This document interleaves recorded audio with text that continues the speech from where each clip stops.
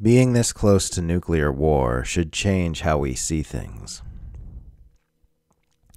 It's so surreal how we are closer to nuclear war than we have been since the Cuban Missile Crisis, and it's only continuing to escalate, and yet hardly anyone seems to notice, and hardly everyone is just going about their lives thinking their usual thoughts and having their usual conversations.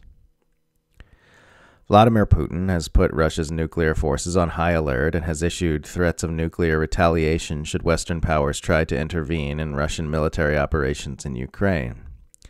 The Biden administration's first nuclear posture review will be out soon and will likely mirror these changes in Russia's nuclear posture in some ways the probability is skyrocketing of a mass extinction event which could easily block out the sun for years and starve everyone to death who isn't lucky enough to be killed quickly in the initial inferno.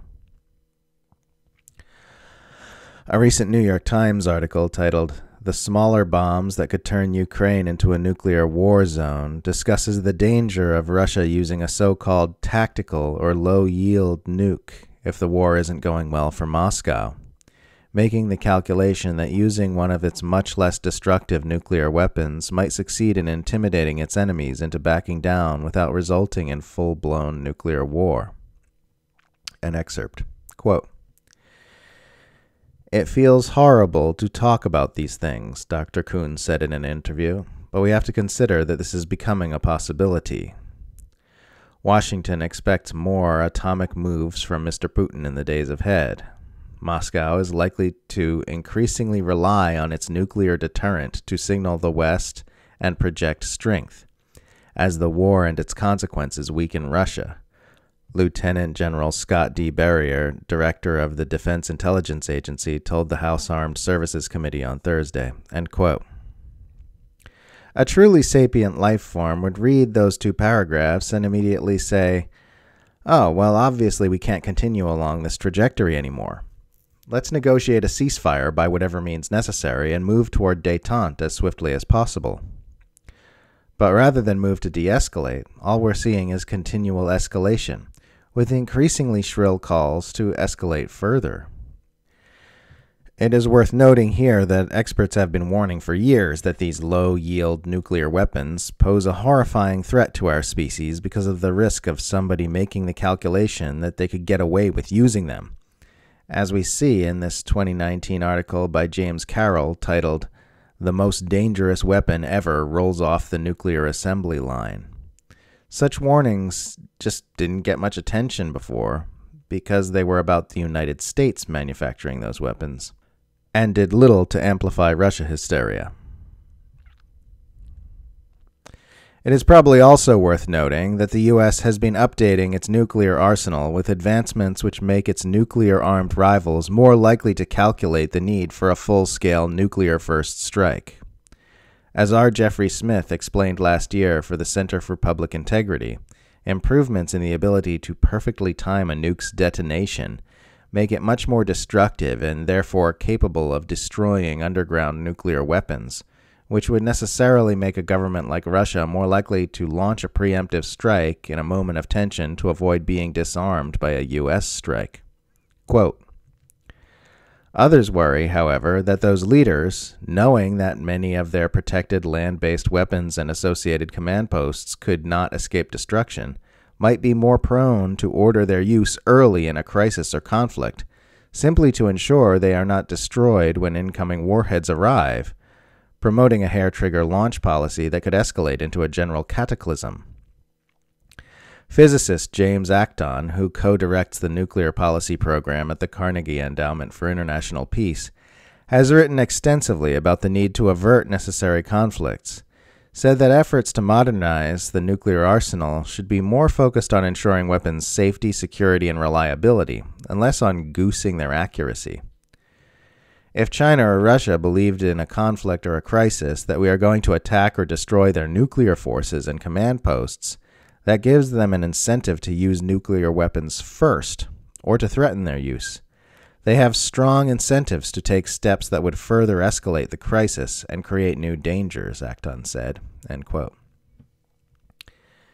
New air and sea launched cruise missiles also place Russia on hair trigger alert, Smith writes. Quote, New air and sea launched cruise missiles, in particular, Nuclear Weapons Council Chair Andrew Weber said, are not necessary and will undermine deterrence because they are stealthy surprise attack weapons that will make opponents nervous enough to adopt hair trigger launch policies. Since they can be deployed with both conventional and nuclear warheads and it's impossible for opponents to tell the difference, their use could cause unintentional escalation from a conventional to a nuclear war. End quote. And while everyone's talking about the fear that Putin may make a calculated decision to initiate a nuclear exchange should he feel backed into a corner, at present the primary risk of nuclear war remains what it's been for about as long as we've had these infernal weapons on our planet that the explicit understanding and mutually assured destruction will be set into motion by a nuke being discharged by either side due to miscommunication, miscalculation, misunderstanding, or malfunction, or some com- combination of these, amid the chaos and confusion of escalating brinkmanship, which nearly happened many times during the last Cold War. As Nuclear Age Peace Foundation President David Krieger explained back in 2017, quote, Nearly 15,000 nuclear weapons are currently under the control of nine countries, each has a complex system of command and control with many possibilities for error, accident, or intentional use. Error could be the result of human or technological factors, or some combination of human and technological interaction. During the more than seven decades of the nuclear age, there have been many accidents and close calls that could have resulted in nuclear disaster the world narrowly escaped a nuclear war between the United States and Soviet Union during the 1962 Cuban Missile Crisis. Human factors include miscommunications, misinterpretations, and psychological issues. Some leaders believe that threatening behavior makes nuclear deterrence more effective, but it could also result in preventative first strike launch by the side being threatened. Psychological pathologies among those in control of nuclear weapons could also play a role. Hubris, or extreme arrogance, is another factor of concern. Technological factors include computer errors that wrongfully show a country is under nuclear attack. Such false warnings have occurred on numerous occasions, but fortunately, human interactions, often against policy and or orders, have so far kept a false warning from resulting in a mistaken retaliatory attack. In times of severe tensions, a technological error could compound the risks, and human actors might decide to initiate a first strike. As Ray McGovern explains in a new article for Anti War titled, Will Humans Be the Next Freedom Fries? The early launch detection system Russia relies on for nuclear deterrence is technologically lagging and prone to error, so that it could easily lead to a nuclear war as the result of a simple mistake.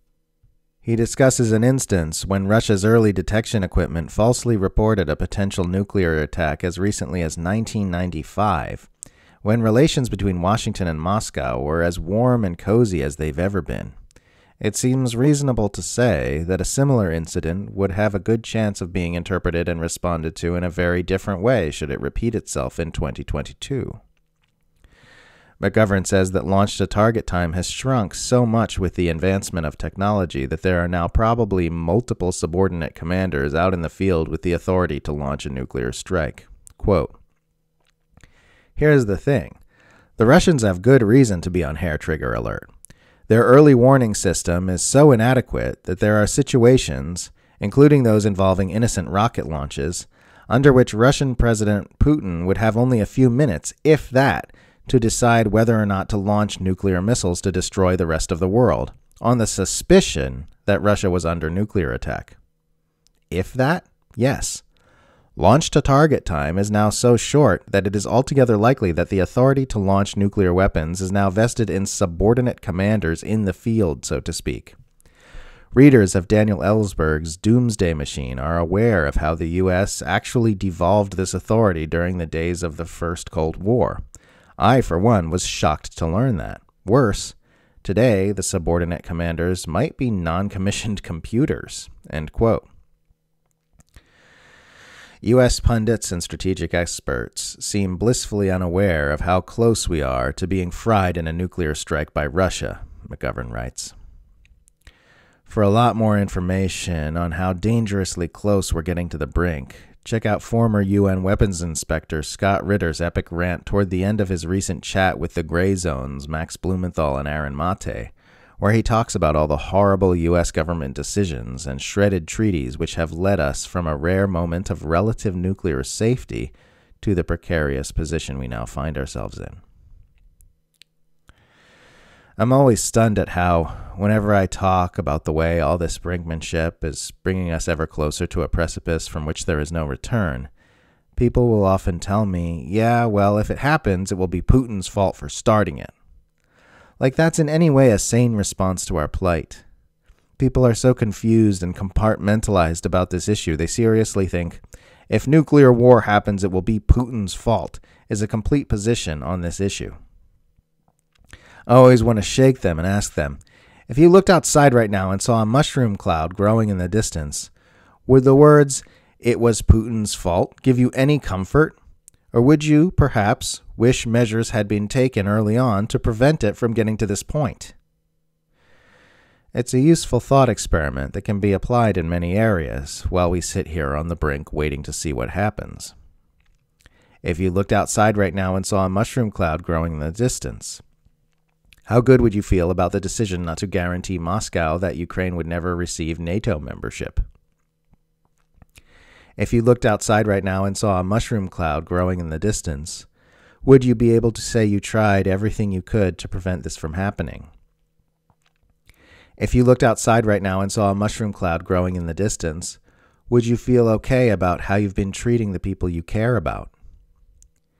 If you looked outside right now and saw a mushroom cloud growing in the distance, would you feel okay about how you've been spending your time? If you looked outside right now and saw a mushroom cloud growing in the distance, would you wish you'd spent more time at the office? Wish you'd participated in more social media drama? Wish you'd taken fewer chances? Wish you'd loved with less abandon? The swelling likelihood of imminent nuclear Armageddon draws everything into focus, helps clarify your priorities, helps you figure out how to live your life from moment to moment. And from where I'm sitting, this clarity brings with it a sense of responsibility as a human being, a responsibility to really be here now, to truly live our lives with presence and appreciation, to drink deeply of the cup of human experience because the only thing worse than everything ending would be if it ended without having been seen and valued while it lasted. We have control over so very little in this insane little pickle we've found ourselves in. But one thing we can definitely control is whether we're really showing up for however much time we've got left in this amazing blue planet. Treasure each moment is something you hear so often in life that it becomes a cliche and loses all its meaning but there has never been a better time to take another look at it with fresh eyes and begin putting it into practice. Treasure each moment, because there might not be very many of them left. This is the moment. This is our moment. If this does wind up being humanity's last scene on this stage, let's at least help make sure we shine as radiantly as possible before the final curtain.